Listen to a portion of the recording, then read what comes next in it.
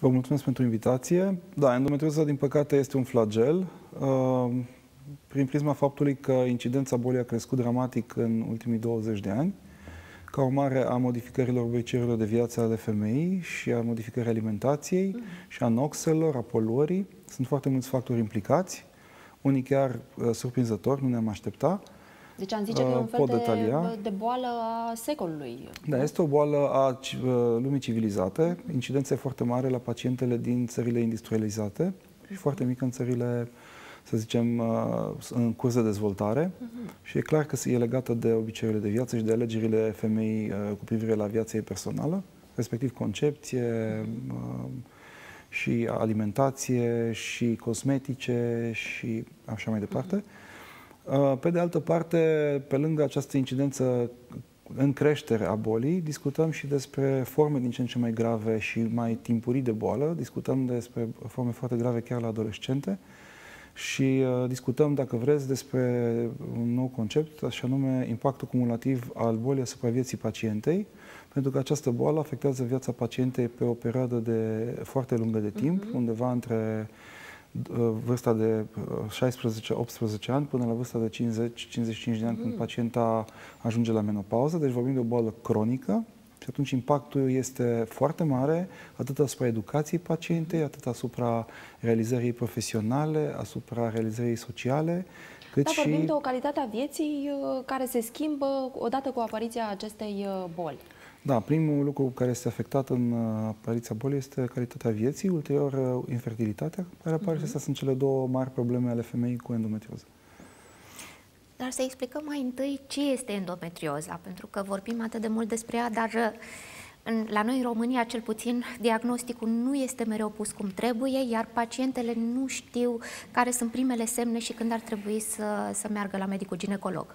Da, endometrioza este o boală benignă, deci nu uh, vorbim de un cancer. Nu vorbim despre un cancer, uh, dar uh, în stadiile avansate, modul ei de a se răspândi în corpul femeii mimează un uh-huh. cancer local. Uh-huh. Deci nu metastazează, dar mimează un cancer local, deci nu, res, nu respectă limitele între organe. Dar asta este vorba de endometrioză profund infiltrativă, o formă mai rară de boală. Deci să înțelegem că, pornind de la partea asta uh, genitală, această boală se poate întinde către alte organe, ajungând până la inimă, la uh, rinichi, uh, la... Da, există și localizări la distanță. În primul rând sunt afectate organele din cavitatea pelvină, adică uh-huh. vorbim de tractul digestiv uh, inferior, de tractul uh-huh. urinar, de nervii pelvini, de peretele osos uh, pelvin.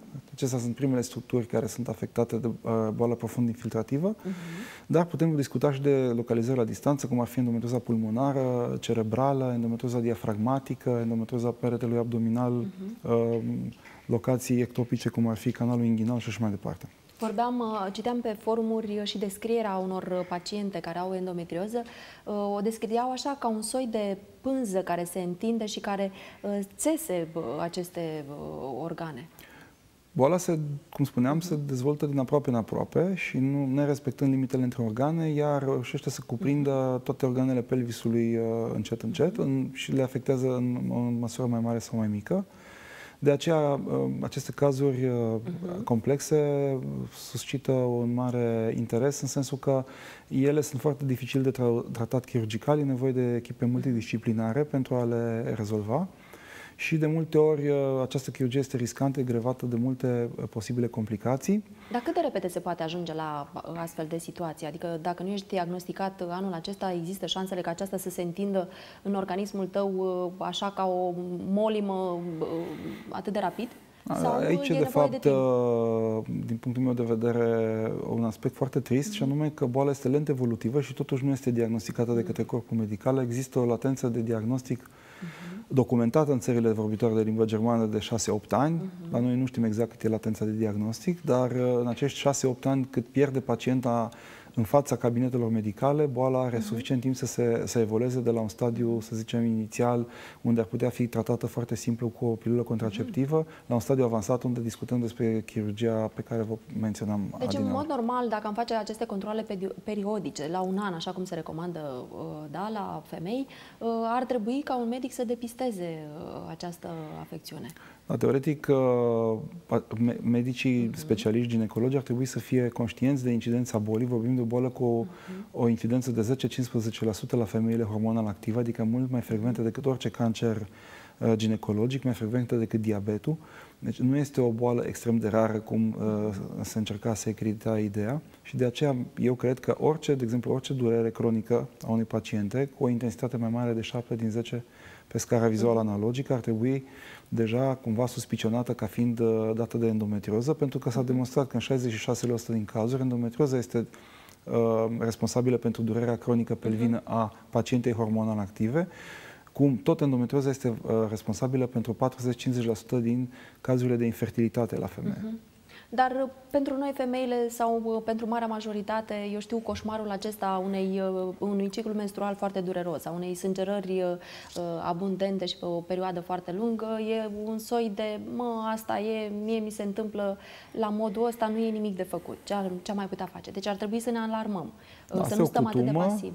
E o cutumă, uh-huh. e vorba de o credință populară, cum că femeia e normal să sufere, că așa a lăsat-o Dumnezeu pe pământ, dar nu este, este foarte păgubos să gândim așa.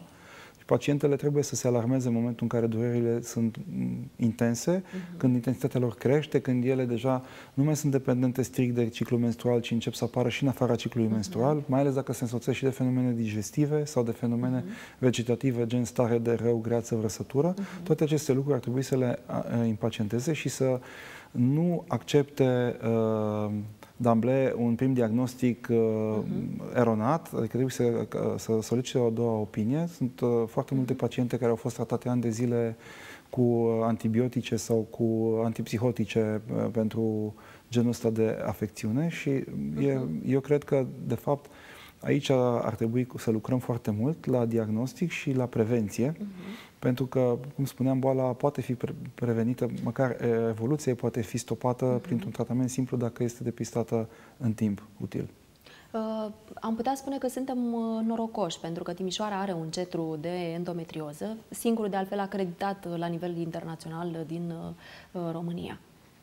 Face față acest centru cu toate cazurile care există în România, adică aveți paciente deja care vin de peste tot uh, aici?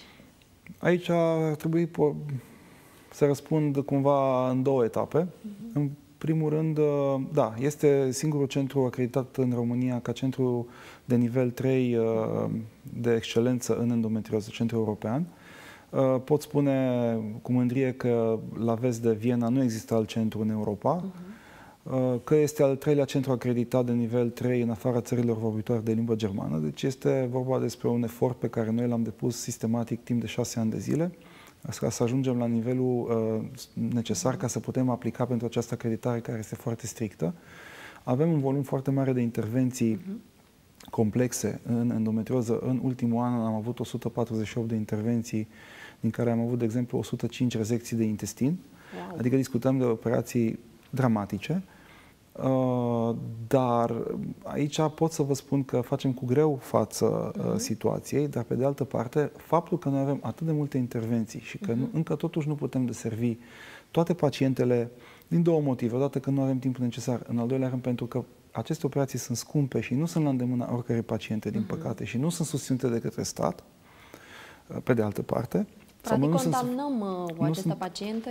Da, este foarte, o discuție foarte delicată. Uh-huh.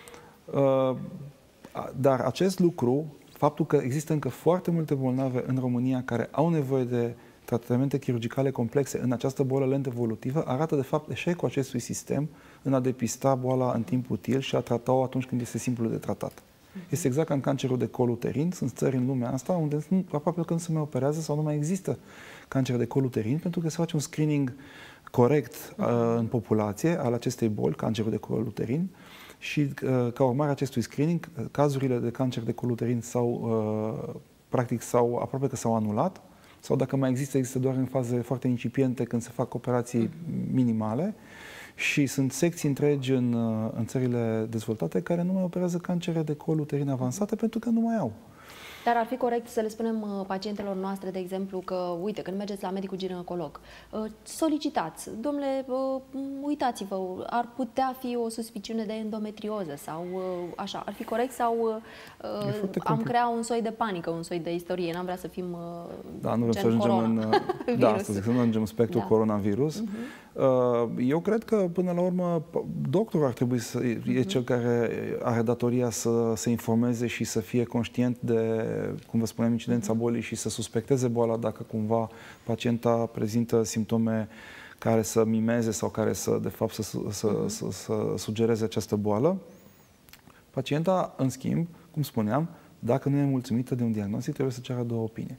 De asta, pentru că uh, Endo Institut a avut uh, o activitate în creștere și pentru că cumva mi se pare inuman pentru pacienta din România să traverseze țara ca să uh, primească un diagnostic de endometrioză, am încercat, de anul ăsta încercăm să organizăm și reușim să organizăm centre de subsidiare ale Endo Institut în uh-huh. țară, în București am pus la punct un centru, în Iași, în Constanța și în Cluj. Sunt centre multidisciplinare. Noi uh-huh. credem în abordul multidisciplinar al bolii ca ginecologi putem rezolva o parte din problemele uh, paciente, dar nu toate. Și atunci această colaborare multidisciplinară, de fapt, acoperă toate nevoile unei paciente cu endometrioză, pentru că vă spuneam... Și aici pacienta, ce fel de medici vorbim? Uh, vorbim despre uh, nutriționist, uh, vorbim da. despre psiholog, vorbim despre endocrinolog, despre gastroenterolog, despre urolog, despre uh, medic de medicina durerii, despre medic de reproducere umană asistată, despre imagist. Pentru că vorbim de o boală care poate pur și simplu să te scoată în afara activității sale, da? activității tale, să trebuiască să fii nevoit să renunți pur și simplu la jobul tău personal uh, din cauza uh, acestei uh, tulburări pe care o are organismul. Acum vă spuneam, conceptul acesta de impact cumulativ mm-hmm. al bolii asupra vieții pacientului este foarte frumos explicat de profesor Chapron și uh, el explică că funcție de decada de viață în care se instalează Uh, boala, uh, ea poate să aibă un anumit tip de repercursiuni. Dacă uh-huh. pacienta are între 20 și 30 de ani și prezintă uh, o formă, să zicem, severă uh-huh. de mhm. boală, este afectată educația, uh-huh. este în consecință afectată uh, poziția socială, este în consecință afectată uh, viața profesională, uh-huh. da? Și dacă apare între 30 și 40 de ani, interesul primordial al femeii este să conceapă, de cele mai multe ori atunci ea se le izbește de Uh, infertilitate. Infertilitatea poate să ducă la destrămarea familiei, deci avem de a face cu un eșec social. Pe lângă acesta se adaugă eșecul profesional pentru că pacientele prezintă de multe ori absenteism, adică ele câteva zile pe lună nu își pot desfășura activitatea, sau prezenteism, adică se, adică se duc la, la locul de muncă, dar nu își pot îndeplini sarcine de serviciu și în consecință își pierd locul de muncă, se izolează social și toate aceste lucruri despre care vorbim acum înseamnă costuri indirecte pe care noi nu le putem cuantifica. Dacă vorbim de costuri directe medicale, este un studiu făcut în, publicat în Springer în 2018, care au stabilit pe un eșantion de bolnave de 1.130.000 de bolnave versus un eșantion de 900.000 de bolnave control. Deci vorbim de eșantioane mari de, de, de paciente și au stabilit că în Statele Unite costurile suplimentare medicale per pacientă per an uh, reprezintă 10.000 de dolari. Și vorbim de paciente cronice care au această boală 10, 20, 30 de ani.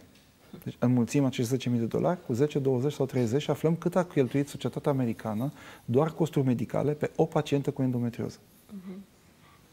Din păcate, trăim în România, trebuie să facem față și acestei uh, situații, ca să spunem, unei neșanse sau unui ghinion, nu știu, sperăm că măcar uh, Timișoara să ne ofere perspectiva uh, de mai bine din punctul ăsta de vedere.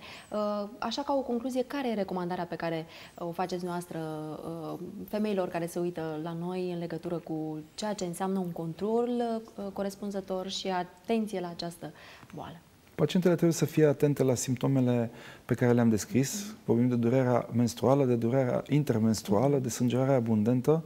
De, uh, și toate aceste lucruri trebuie să o alarmeze, să nu le considere ca fiind un dat, să solicite consult ginecologic avizat, dacă nu sunt mulțumite de respectivul consult ginecologic, să solicite o a doua opinie, pe de o parte. Pe de altă parte, pacientele care au un istoric familial de boală uh, hormonal uh, dependentă, gen fibrom, uh, endometrioză, adenomioză, să știe că pot moșteni această boală pe linie ereditară uh-huh. și fiicele lor pot să moștenească această boală pe linie ereditară și atunci să fie foarte atente și din perioada de adolescență deja să urmeze un screening pentru această boală pentru a depista în timp util și a trata, cum spuneam, simplu, o boală care poate fi tratată.